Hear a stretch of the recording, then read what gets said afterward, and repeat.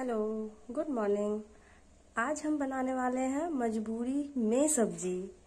मजबूरी में सब्ज़ी इसलिए क्योंकि आप देख सकते हैं यहाँ बहुत सारी सब्ज़ियाँ हैं, पर इसमें से कुछ कुछ खराब हो रही है। ये बैगन आप देख सकते हैं, ये खराब हो चुका है। फिर वहाँ परवल है, वो भी खराब ही हो रहा है। लगभग वहाँ धनिया पत्ता है, वो भी खराब हो रहा है। तो मजबूरी में हम करेंगे क्या कि अलग अलग अगर सबको बनाते हैं तो फिर बहुत सारा सब्ज़ी बन जाएगा। और अकेले हैं तो इतना का करेंगे भी क्या? इसीलिए देखते हैं, सबको मिक्स करके एक कुछ सब्ज़ी बनाने का कोशिश करते हैं, पता नहीं कैसा बनेगा। फिर भी ट्राई करते हैं, चलिए देखते हैं। तो अब खराब सब्जियों को मैंने अलग कर दिया है, अब बचे हैं इतने। इसमें से अब हमको बनाना है। और बता दें कि बैगन जो है, वो अगर थोड़ा सा भी ख़राब हो तो उसको एकदम नहीं खाना चाहिए। तो ये तो एक थोड़ा सा क्या, ये तो पूरा ही ख़राब है तो इसको हम फेंक देंगे। और और ये कुंदरी है जो शाम तक बहुत अच्छा दिख रहा था हरा हरा अभी सुबह उठ के देख रहे हैं तो ये पूरा लाल हो चुका है, इसको भी फेंकना पड़ेगा। और ये परवल है जो कि खा सक, बना सकते हैं, खा सकते हैं। लेकिन ये अगर इसको छोड़ा जाए तो ये भी पक जाएगा। तो चलिए, परवल, बैगन, कुंदरी अच्छा वाला, ये खराब वाला हम फेंक रहे हैं और अच्छा वाला जो बचता है उससे एक सब्ज़ी बनाते हैं। तो यहाँ पे इतना सब्ज़ी ले लिए हैं। आलू है, बैगन है, परवल है और ये कुंदरी है। इसी को मिक्स करके बनाएँगे। अगर नहीं बनाएँगे तो ये भी खराब हो जाएगा। और जो ये परवल है, ये तो अच्छा खासा बहुत सारा है तो इसको अलग बनाएँगे। तो ठीक है, पहले इसी को बनाते हैं और देखते हैं कैसा बनता है। तो परवल बनाने से पहले मैंने परवल को पूरे अच्छे से छील लिया है मेरा छिलका सोचे इतना पूरा अच्छे से छीला है। छील कर अब इसे धोकर कट कर लेते हैं।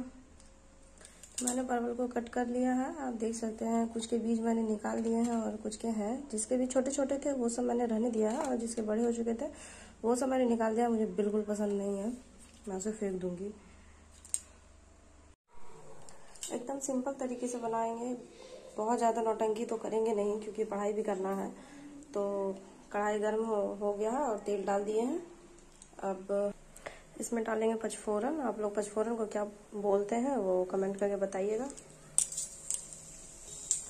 ऐसे तो हरी मिर्च ही खाना चाहिए लेकिन अभी इसमें सूखा मिर्च ही डाल देते हैं लाल मिर्च। डालेंगे परवल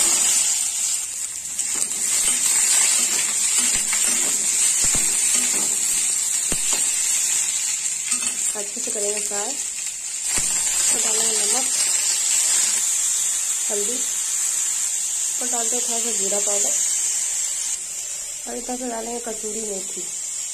बस, अब सबको कर लेना है फ्राई। फ्राई कर करके इसको पका लेना है। चलिए ठीक है ये देखने में तो सुंदर लग रहा है। और इसको अच्छे से पकाएँगे ढक ढक के, ताकि ऐसे भी सीख जाए। जब तक कि परवल उधर पक रहा है, तब तक हम लोग इसको तैयार कर लेते हैं। तो चलिए, छीलते हैं, काटते हैं, धोते हैं, जो भी प्रोसेस है उसको पूरा करते हैं।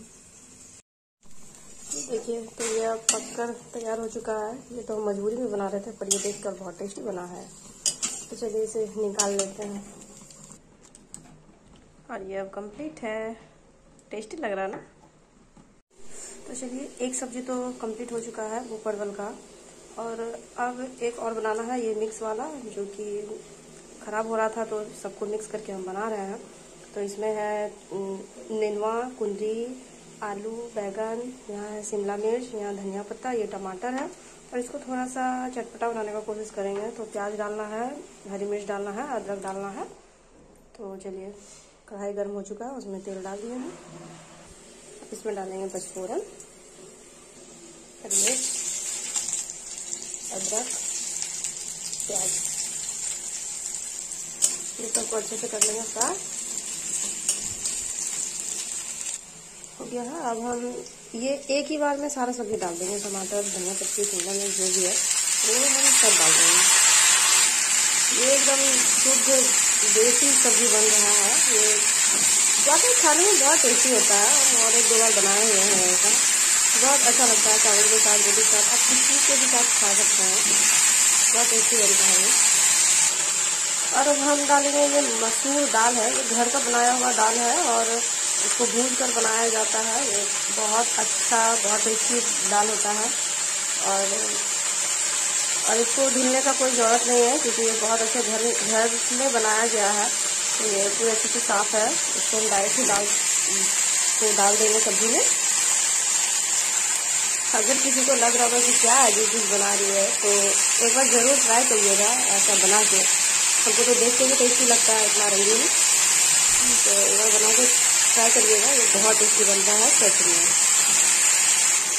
अब हम इसमें डालते हैं नमक। डालते क्या? नमक डालना पड़ेगा और कोई उपाय नहीं है। नमक नमक ही डालना पड़ेगा। और डालना है हल्दी। हल्दी और नमक का कंपलसरी है। कोई डाले या ना डाले, ये दोनों को डलना ही डलना है। इसमें मैंने नमक डालते वक्त बोला कि डालना ही पड़ेगा और कोई उपाय नहीं है। तो इसको हम सोचे कि चावल के साथ खाएँगे तो इसमें थोड़ा सा पानी पानी वाला बनाना पड़ेगा। तो इसके लिए थोड़ा सा तो मसाला डालना पड़ेगा। तो ये है धनिया पाउडर। और ये है जीरा पाउडर, जो कि ये भी मेरे घर में ही बनाया गया है। मेरी सासू माँ बनाई है कूट के, पीस के, पता नहीं कैसे कैसे करके। ये थोड़ा सा कस्तूरी मेथी और हम इसको अच्छे से कर लेंगे। इसे मैंने अच्छे से मिक्स कर दिया है और इसे अब हम ढक ढक के पकाएँगे। थोड़ा सा फ्राई हो जाएगा, उसके बाद फिर हम इसे थोड़ा सा पानी दे देंगे। इसे मैंने दो से तीन बार ढक्कन हटा के चला लिया है और ये फ्राई हो चुका है। अब हम इसमें डालेंगे पानी। लगभग एक गिलास, छोटा गिलास से छोटा गिलास है। इसे एक गिलास लगभग पानी मैंने डाल दिया है और इसे अब अच्छे से मिक्स करके पकने दे देंगे। हो जाएगा कंप्लीट और क्या करना है? ये अच्छे से पक चुका है और ये अब कंप्लीट है। Thank you